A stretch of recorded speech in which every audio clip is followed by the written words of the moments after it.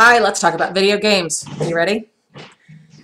What you're seeing right now is a picture of my eighth grade Christmas present. This is Pong. It was made by a company called Atari and it came on a big console. It was kind of the size of a DVD player. And you could play tennis back and forth. That's what you did. You had a little knob that controlled your tennis player. You could play doubles if you got crazy. We played for hours. Invited the neighbors over to see our Pong game. I'm trying to tell you that the technology you have as far as video games is phenomenal compared to the technology that I had. I know. Don't you feel sorry for me? Bill Gates says the video game industry is bigger than Hollywood. That's because the video game industry makes more money. Did you know that? I mean, think about it. A movie ticket's 10 bucks, right? How much is a new Xbox 360 game? 60? Right? My kids will buy those without even thinking about it. So we part with our money very easily in the video game industry. In fact, some consoles require special controllers for special games, and those are expensive too. So much money. So that's one reason we need to study video games, is because of the sheer money involved. They're a super concentrated industry. Very few companies are involved in the production of video games and video game distribution. Video games are luring people away from traditional media, and that's definitely true in our, in our family because my boys would probably rather play video games than watch TV, and I actually encourage that, but we'll get to that in a minute. Video games are filled with advertising. In many cases, they're used as advertising. They're used all over the world, and they're played on every format. So to have a media class that doesn't talk about video games is crazy. It's crazy. We have to talk about them. Okay, so really when we talk about video game history, when your book talks about it, it almost sounds like they're starting with pinball, right? This is Baffle Ball from 1931. It was just one moving part, and when your ball went into the hole, you were done. Here was a big change. Just two years later, the game was called Contact. The ball came back. All right, now bear with me. Here's the big one. Humpty Dumpty, 15 years later, had six flippers and if you got a certain score, you got to play again.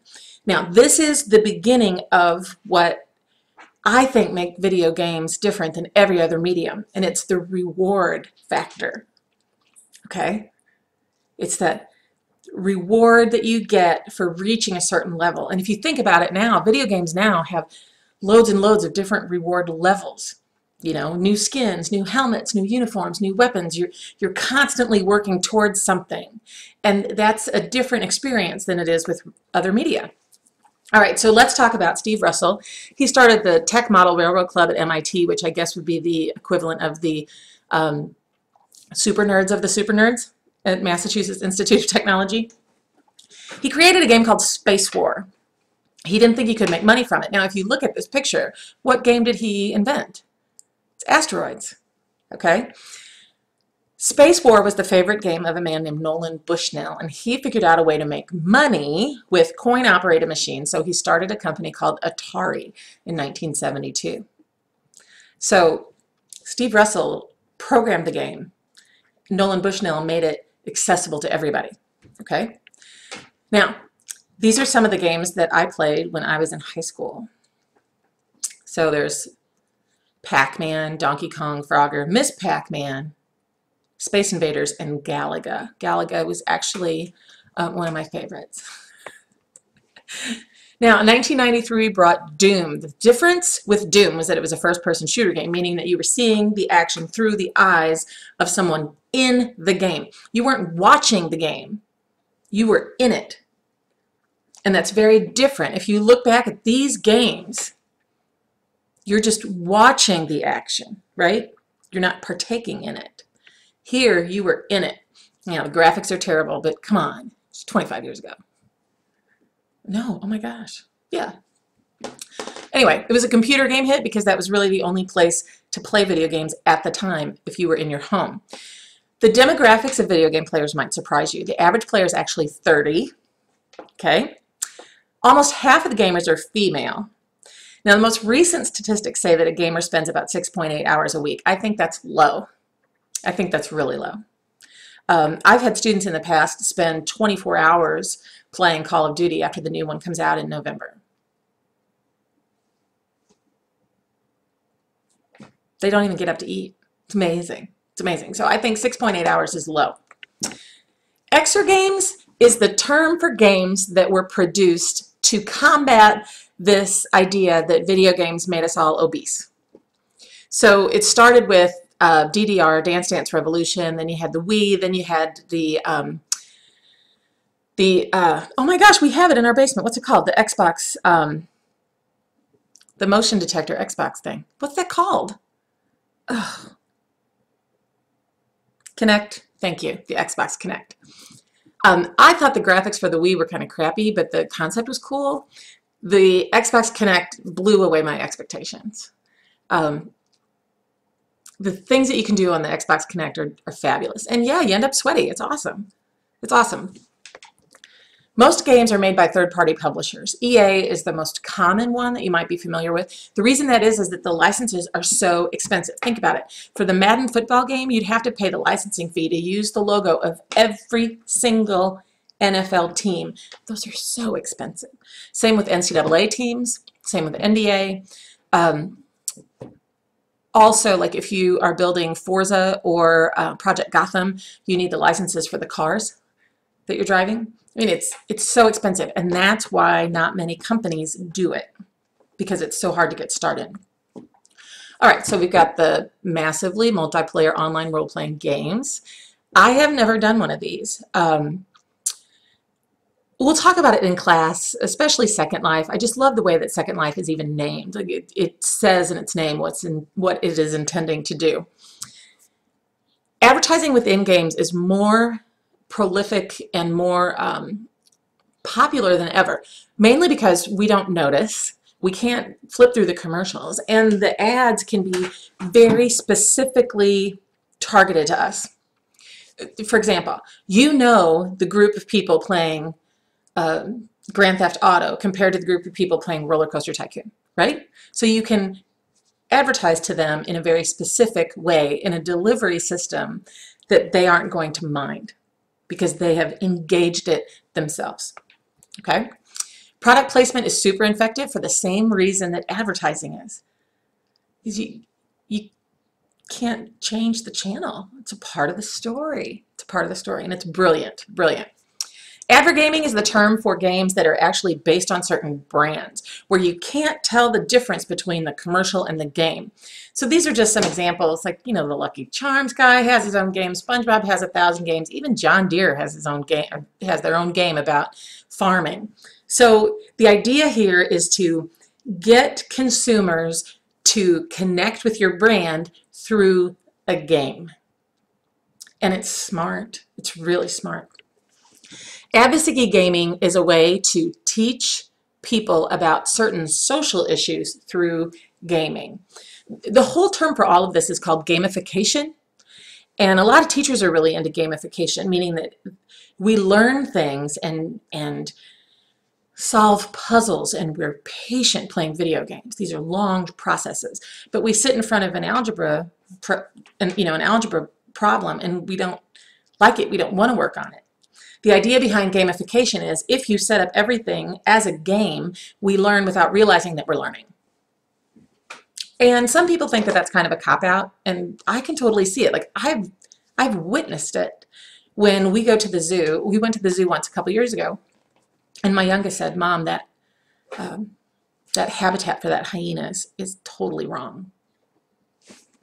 Okay, if I had told him that he was supposed to study the habitats of zoo animals, he would have thought I was crazy. But he spends enough time on Zoo Tycoon, he knows what certain animals like and don't like and what they need. And so he's learning without realizing that he's learning. It's like a sneak attack, a sneak attack of knowledge.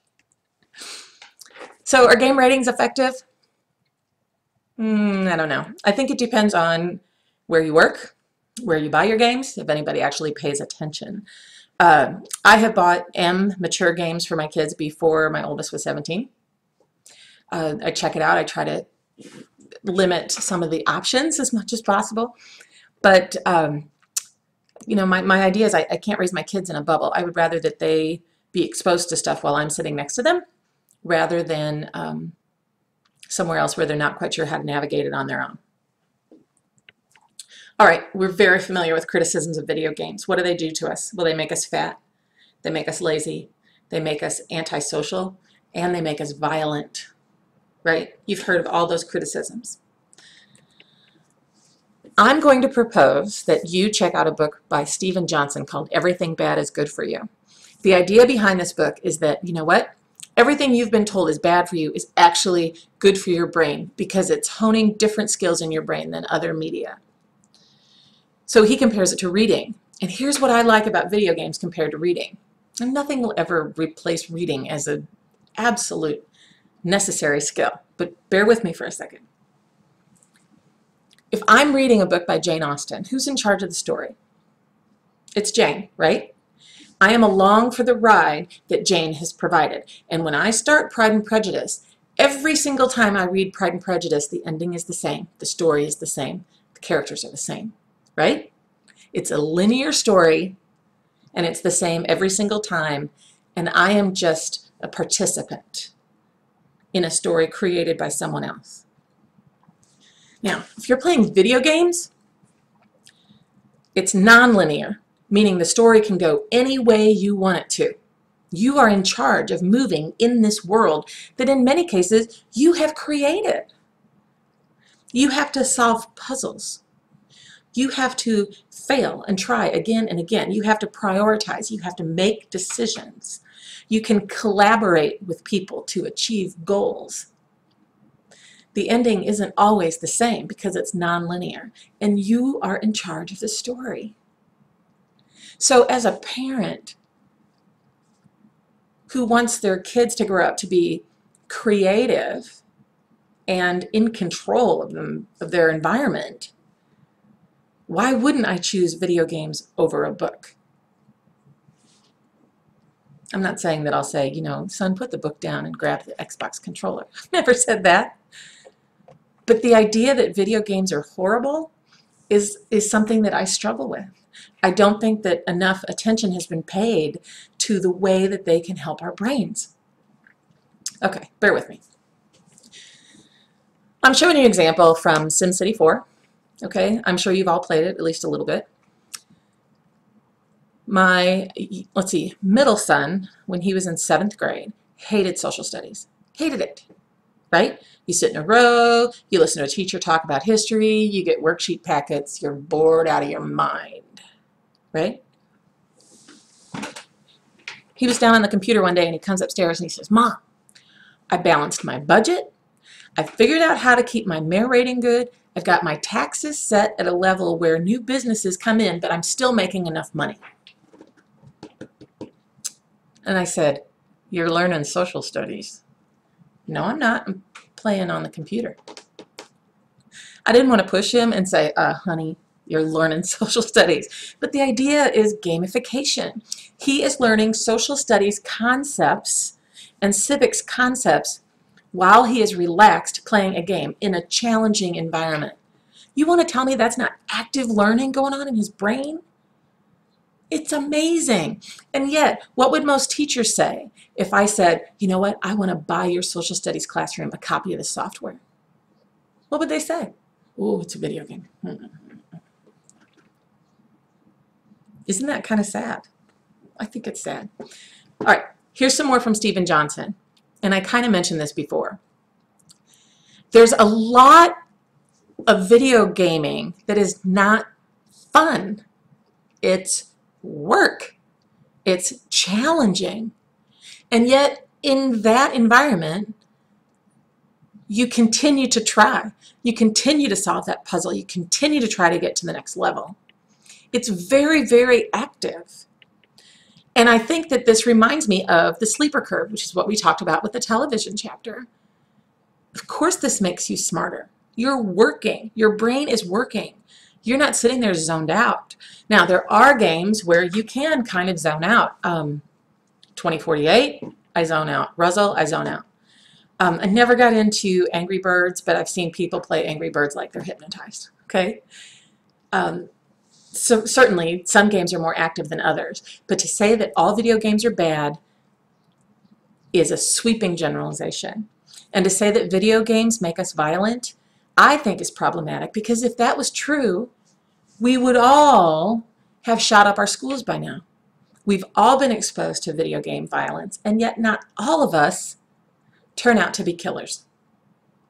In fact, there is some research that suggests that video games are actually cathartic, that you can be really angry and feel violent, and a video game will help you relax, help you get it out of your system instead of getting it out of your system in real life. So yeah, I've made some enemies at baseball practices in the past because of my opinions on this, and I look forward to debating all of this in class with you. So be sure to contact me with questions and observations. Okay, see you, bye.